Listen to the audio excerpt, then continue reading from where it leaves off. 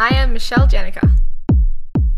I did hear that I may have crashed the site with my little video, and I wanted to say a big apology. I did not intend to do that.